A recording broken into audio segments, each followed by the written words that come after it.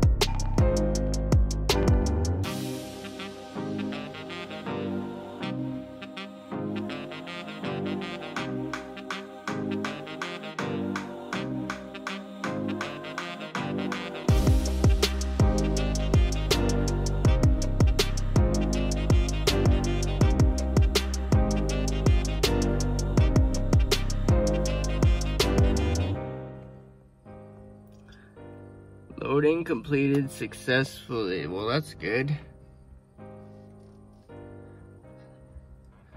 So I went into the OBD link app application and then I went to firmware updates in the settings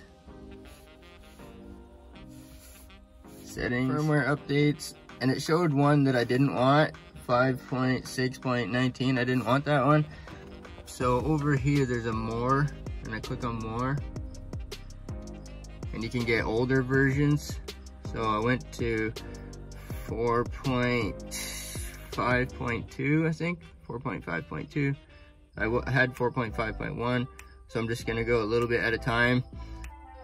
Uh, I think 4.5.2 is compatible with the new LS Droid so I don't want to go all the way to the newest version because it's not compatible, I think. So this part is a little tricky. It took me a minute to figure it out. Hopefully my LS Droid will work again.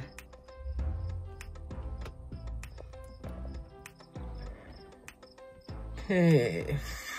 So LS Droid Beta is the one I was using. I think Legacy is the new one, but I've been using this for a long time and it always worked. So I'm just trying to find the firmware that works with the updates.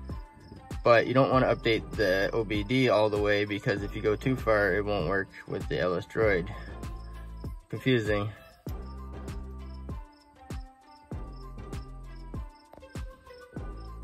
Okay then, Legacy Revision 1. So this is a new version of LS Droid, LS Droid Legacy right? And last time I clicked on right it wouldn't let me. It says you need experience which which is normal see? I do have experience reading them but this is a new app since 2.2 uh, was a beta version. So it doesn't recognize that I have um, that I have experience but I do so I might have to read my computer first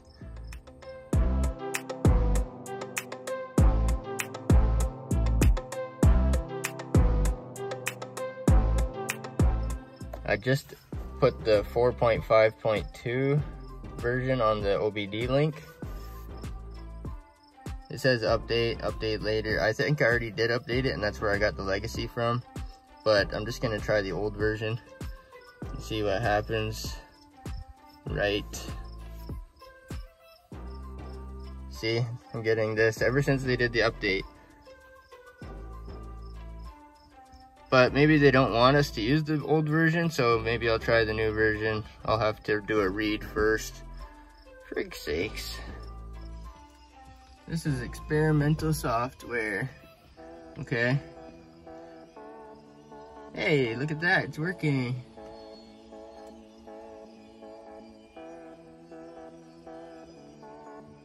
That's a bonus. So I'm in the Legacy, LS Droid Legacy. I click on the left corner and I go to read. read the LS V8 PCM and then I go to the top right corner and I click my Bluetooth device and now I'm reading so that's good 11 minutes in my experience it doesn't take 11 minutes it only takes like maybe six minutes or something in my experience but we'll see took 10 minutes one second so I guess it really does take almost 11 minutes but Anyway, she read and I cycled the ignition off for 15 seconds and it looks like we're good. I don't know, I'll have to actually re-fire it maybe? I'm not sure if it's just read it or if it resets the PCM. I'm pretty sure it does reset the PCM, so that might be good for fuel trims.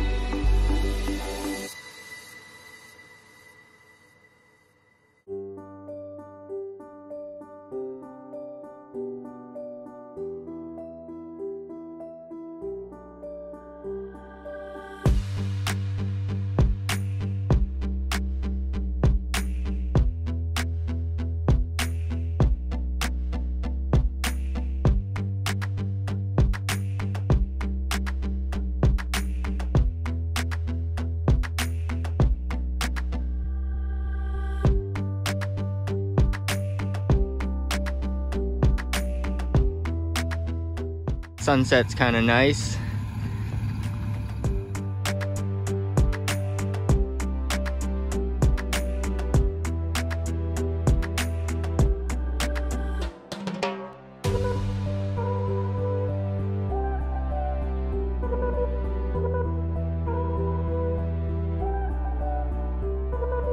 you